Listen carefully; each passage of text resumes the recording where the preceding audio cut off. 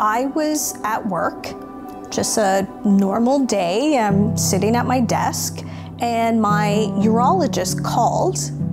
This was after they went in with the scope and, and took a look. And I, I took out like a, a notepad and I started writing down low grade cancer. Cancer, me, I, I have cancer. It was like, I can't tell you how many times the words just flashed in my mind. I'm Angela Pelche. I live in Niverville, Manitoba, and I'm a bladder cancer survivor. The first symptom I had was blood in my urine. More than just a little bit of blood, it was actual clots. After my first cystoscopy, it came back that I had bladder cancer. So the next thing that was planned was uh, a TURBT. So they go in and they remove the bladder tumor. When they went in this time in January, there was a little bit more there. It came back high grade, more of aggressive. I had six rounds of BCG. They went back in, more cancer was there, and it became muscle invasive.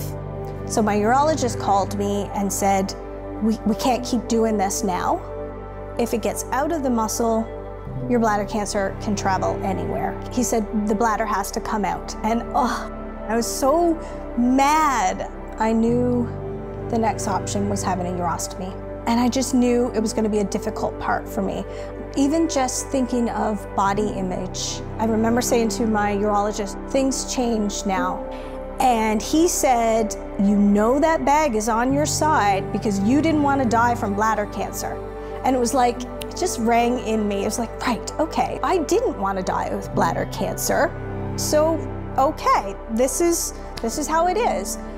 At that point, we needed to do 12 weeks of chemotherapy before the bladder could be removed.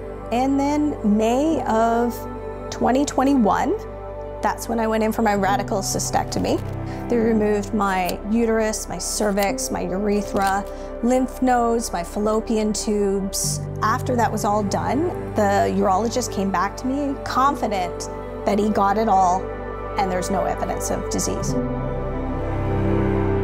I think since the beginning I knew I was going to beat it. For me, it was almost like it was practical. Like, okay, well, what's the next appointment? Which is the next surgery?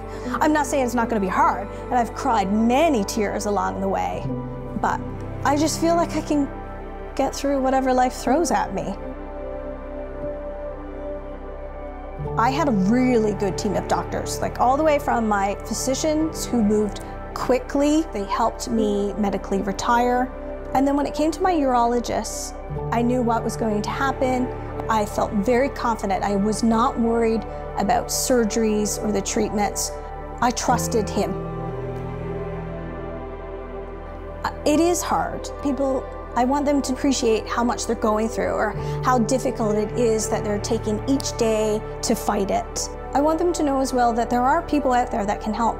I'm a part of a support group with Bladder Cancer Canada. Such an amazing, amazing group. I love these ladies. And I, I know that we are helping other women. So to find a community that is going through the same things that you are going through is wonderful.